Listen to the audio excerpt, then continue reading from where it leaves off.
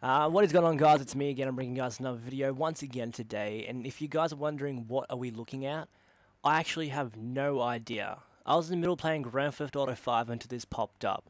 Now, you can hear me hitting a button, that's the Xbox home button, but it doesn't seem to be popping up at all. I think the thing is fucked.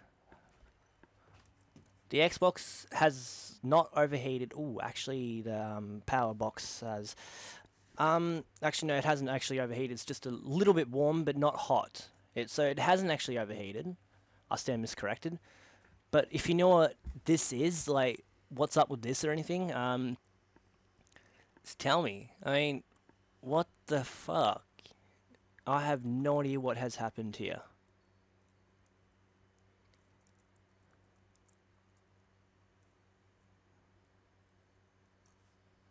Um, honestly, I have no idea. I think it has crashed in some way.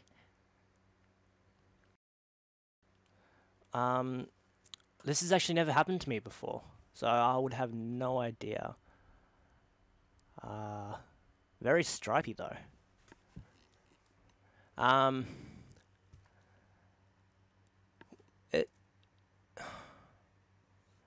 yeah.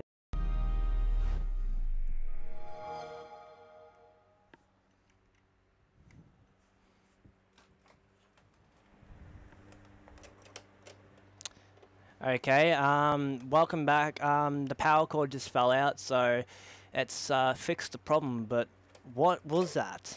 Honestly, I have no idea what that even was.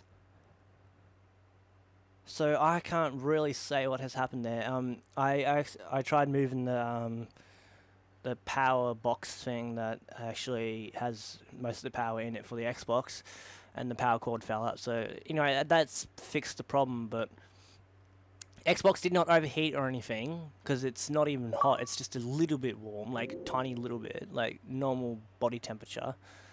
Um, at the moment, it is a apparently a hot day, but I I can I um don't feel the hot much because I'm usually wearing pants and jumper, but um, where I am right now, it is only um, it's only 31 degrees Celsius.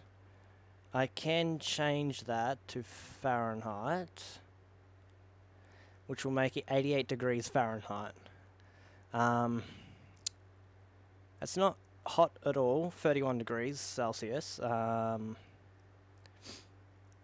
but yeah, I guess I have been playing Xbox all day.